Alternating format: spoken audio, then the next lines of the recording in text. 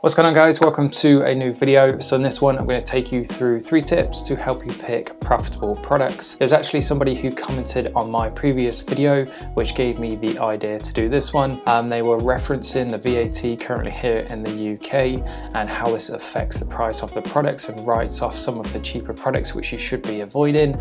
So I thought why not do a video on this topic as well as some other things in which you need to be considering when you're doing your product research and looking for particular products to go ahead and test. So what I've done is I've put together the three most important things you need to keep in the back of your mind when you're doing your product research. I'm going to take you through in this video. As always, I'll be showing you the information and proof and evidence behind these points as well and how they can really make a difference in your business.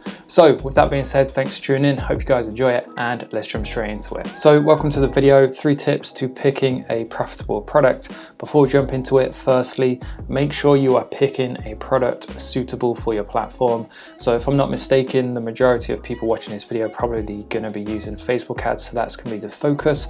But if you're using, say, Twitter or Snapchat or Google, these are all things you have to keep in mind for the following reasons. So if I draw your attention to the first image on the left hand side, it illustrates kind of like the age ranges of people who use the individual platforms. And what we can see is that Facebook and Twitter are primarily more popular in the older generation, people of my sort of parents generation. And then obviously Snapchat is for a lot younger users because it's one of the newer social media platforms.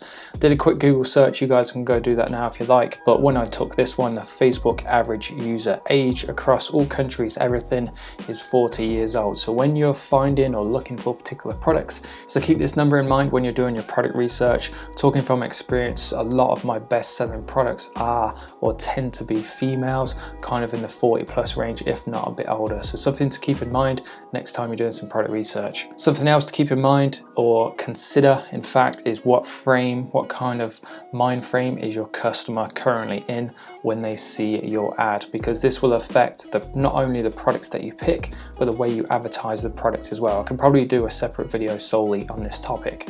So people aren't in a buying mood when they're on Facebook. Obviously people don't go onto Facebook to buy things.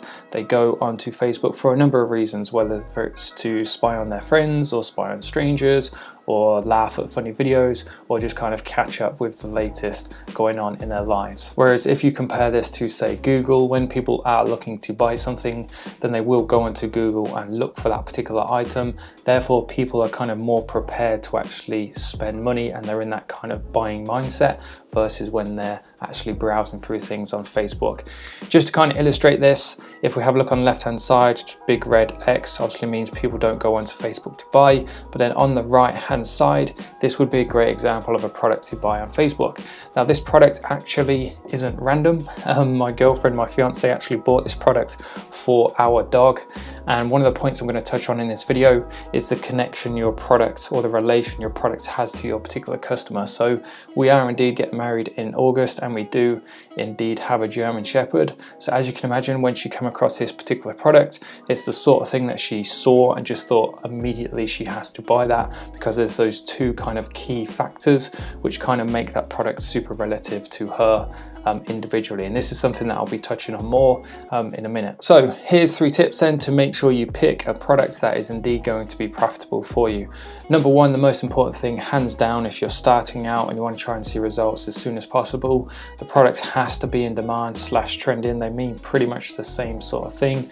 So obviously here in the UK, it's summer, even though you wouldn't believe it if you looked outside. So things like hot tubs, garden furniture, kids outdoor toys, those sorts of kind of summery products, water bottles, water bowls, those sorts of products which kind of spike in popularity, um, dependent, weather dependent obviously. Those products that kind of spike in popularity and then drop in popularity really sharply typically are the easiest products to sell if you get in at the right time. So there's loads of different ways to kind of find out if a product is in demand, but the quickest, easiest and cheapest is just to simply use Google Trends. So here's a bad example and then I'll show you a good example next. Um, I took this screenshot today, it's for Bike Light It doesn't get dark till like 10 o'clock at night. So obviously there's not gonna be many people looking for a particular bike light. This is illustrated in the graph. If you look at where this arrow is pointing, it's pointing to where the current kind of search volume is at. In the last 17 years, so 2004 to present in the UK, search term is bike light. It's at 37 out of 100, which is obviously quite low, which is also illustrated in this graph. This is one of the reasons why I absolutely love Google Trends because it's just instant feedback to whether you're kind of selling a product at a good or bad time or not. Here's a good example then, dog water. Um, United Kingdom 2004 to present, July 21. I took this screenshot again today.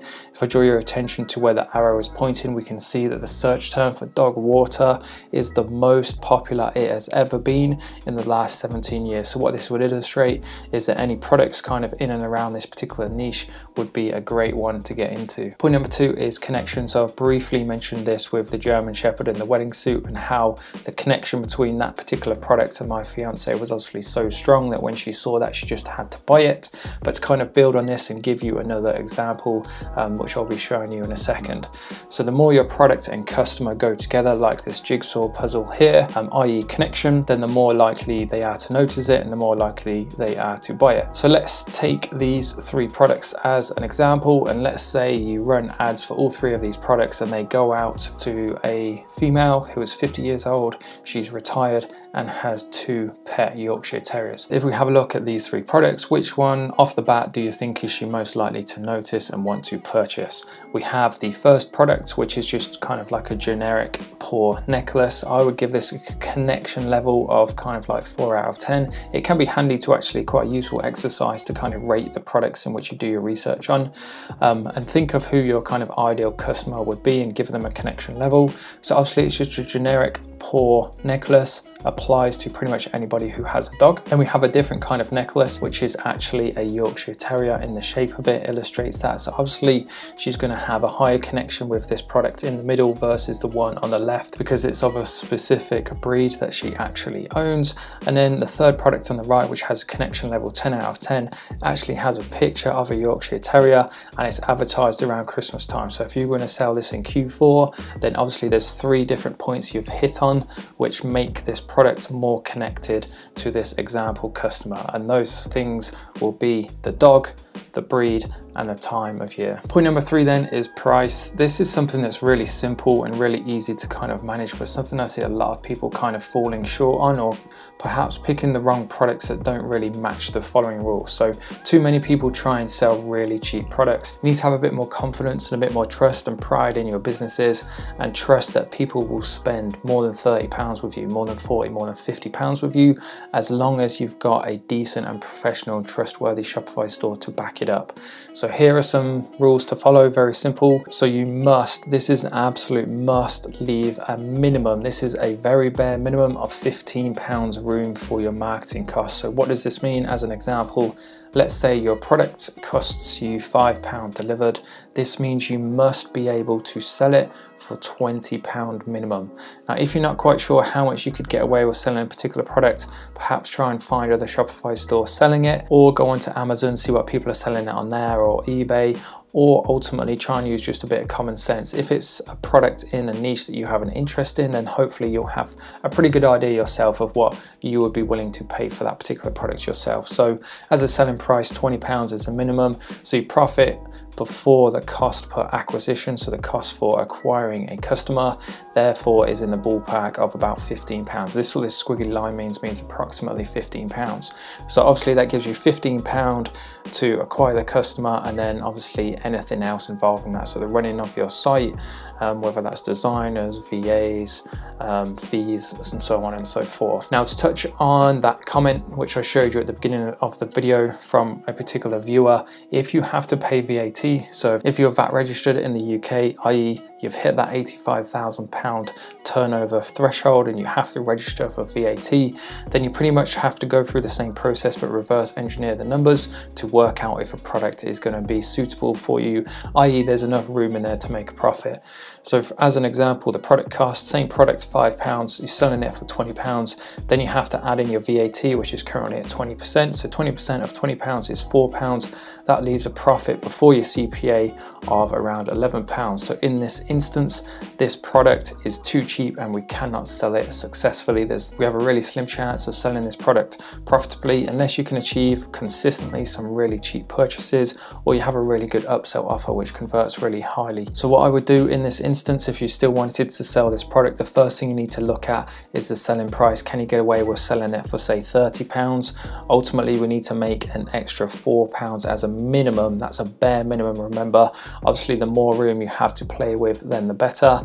Um, so can we sell this for say 30 pounds to bring this up above 15 pounds to make it a viable product for testing? Failing that, then you could go back to the supplier and try and get a cheaper price. But if you're again selling a cheap product like this, then the chances are there's not going to be enough room no matter how much they kind of take off the price of it. So, so as a general rule of thumb, then what I recommend is selling products. So that's retailing them, having them on your site if somebody wants to buy them in the 30 pound to 100 pound range. And there must be a minimum of 15 pound room for your CPA. Now, obviously the closer you are to this 100 pound number, then the profit before the CPA should be a lot higher. And with that being said then guys, thank you very much for watching the video. I hope you've learned something new and something you can take away which will help you be more successful in your business. Um, any comments, questions, video suggestions, post them down below. And of course, if you enjoyed the video, don't forget to hit that like button and subscribe. One final thing before you go, if you are looking for a program which comes of tons of content, I believe there's about 15 hours of content in the Ecom Academy and comes with a full support and guidance of myself as well as lots and lots of other things make sure you check out the Ecom Academy. Uh, there'll be a link in the description down below. There is a callback service too, so I mean you can jump on a call, go through any hesitations and kind of put a plan together to get you moving forward along the right lines. Thanks again for watching and I'll see you in the next one.